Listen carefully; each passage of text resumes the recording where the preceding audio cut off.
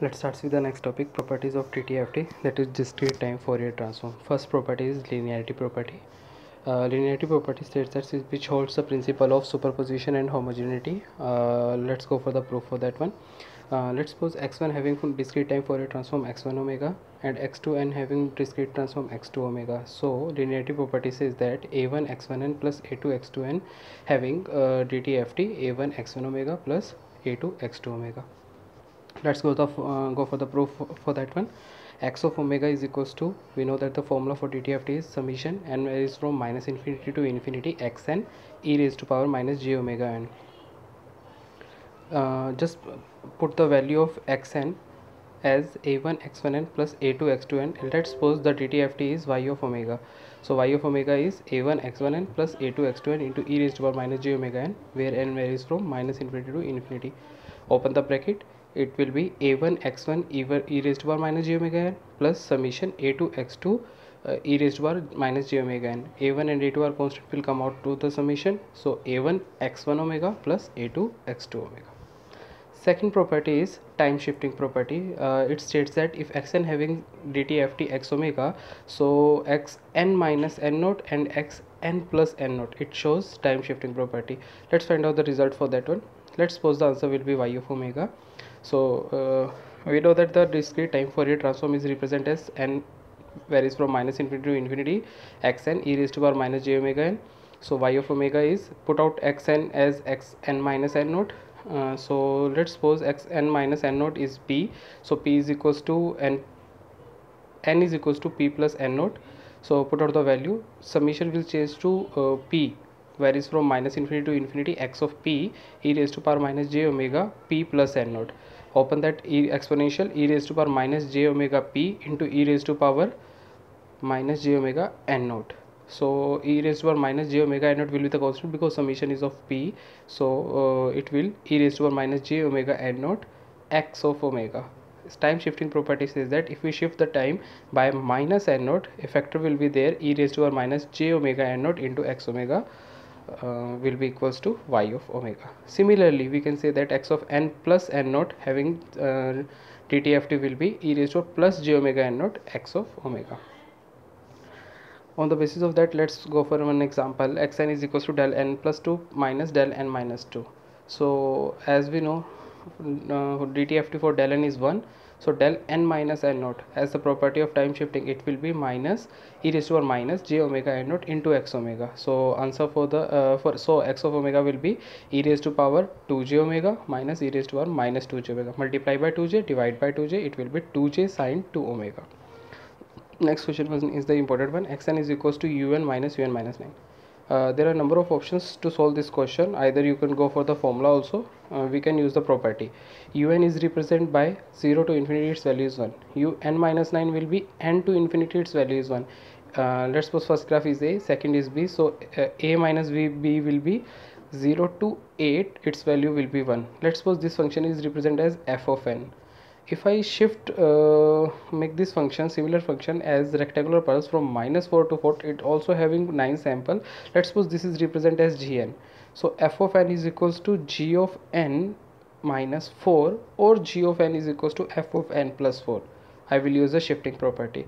So g of n G, I, we know that the discrete time Fourier transform for g of n is equals to sine omega n. Here n is 9 uh, 8 n1 n1 is uh, highest common factor highest uh, sample that is 4 plus half upon sine omega by 2 okay so g of n is sine n by 9 by 2 omega upon sine omega by 2 now i have to find out for g f of n. F of n is equal to g of n minus 4 so it will be according to the time shifting property it will be e raised to minus 4 j omega into g omega. So e raised to minus 4 j omega uh, sine 9 by 2 omega into sine omega by 2 uh, let's take an example. If fn is equals to un minus un minus 10 so here we will have n is equals to 10 even. So in this way we can't apply that property. We will use to uh, we will we will we will calculate the dtft direct by the formula. Third property is time reversal. If xn having x omega so x of n minus n. Let's suppose the answer will be y of omega go let's go for the proof. X of omega is equals to n is equals to minus infinity to infinity. X of n e raised to power minus j omega n. So put out the value x of minus n. So answer will be y of omega. Let's suppose minus n is equals to p. So n is equals to minus p. So limits will be changed to the p. P is equals to if you put n is equals to minus infinity so p will be plus infinity. So plus infinity to minus infinity x of p raised to power plus j omega p. So uh, if i go for minus infinity to infinity or infinity to uh, plus infinity to minus or minus to plus it will be results total number of that number of samples will be same. So x of p e raised to power minus j minus omega p. So it will be x of minus omega. So x omega is equals to x of my if we reverse the time in time uh, and domain so in frequency domain it will shift to uh, same result will be there that is x of minus omega question and uh, next question is x of n is equals to a raised to power minus n u of minus n. Find out dtft. As we know that a raised to power n un is uh, dtft is 1 upon 1 minus a e raised to power minus j omega. Make sure air here a is less than 1 so use time reversal property. It will a raised to power minus n u of minus n will be 1 upon 1 minus a e raised to power plus j omega means in omega domain it will also become minus Next property is frequency shifting property that is xn having Fourier transform discrete time Fourier transform x of omega. So what will be the result of x of omega minus omega naught or x of omega plus omega naught? Let's suppose answer will be yn. Here we will go for the inverse dtft formula that is xn is equals to 1 by 2 pi omega is equals to minus pi to pi x omega e raised to power j omega and d omega okay so put out the value of x omega replaced by x omega minus omega naught or x omega plus omega naught. Let's suppose omega minus omega naught will be p so omega is equals to p plus omega naught and d omega will be dp.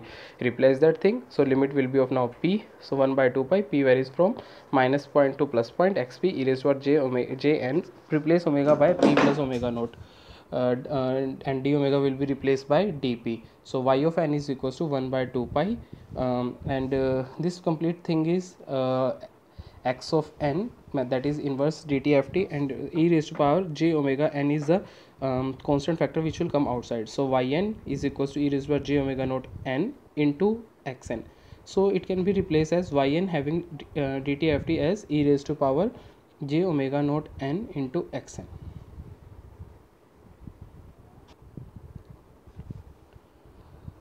let's have one uh, example that is xn is equals to 1 2 3 4 a finite right handed sequence we have to find out the dtft of that one. We can go for by the using the property also and by the uh, direct by the formula. So xn is right handed sequence xn having z transform uh, dtft as x of omega. So if we uh, we have to find out idft of x of omega minus pi so we know that x of omega having uh, inverse dtft as xn. So x of omega minus pi will result e raised to power j n pi into x of n. So uh, e raised to j n pi. And we know that in the finite sequence we have uh, n varies from 0 to 3 um, put out the value of n as 0 1 2 3 so it will be x of omega minus will result 1 2 into e raised to power 2 j uh, n is 1 so e raised to power j pi that is minus so answer will be minus 2 3 and uh, 4 it will become e raised to power minus 3 j pi that is minus so it will be minus 4 okay? So x omega minus pi will result 1 minus 2 3 minus 4 or we can say that if dtft is shifting by half of its time period then the samples occurring at the odd place of n for x of n will have uh, sign reversals next is time expansion. If xn having x of omega so x of n by 2 having result x of 2 omega. Let's go for the example. 1 2 3 4 xn is given. So xn is what? Del n we can represent xn as del n plus 2 del n minus 1 plus 3 del n minus 2 plus 4 del n minus 3 so x of omega will be 1 plus 2 e raised to power minus j omega plus 3 e raised to power minus 2 j omega plus 4 e raised to power minus 3 j omega. And we know that we have to find out x of n by 2 so in frequency domain it will x of multiply by 2 so answer will be 1 plus 2 into e raised to power minus 2 j omega plus 3 into e raised to power minus 4 j omega plus 4 into uh, e, 4 into e raised to power minus 6 j omega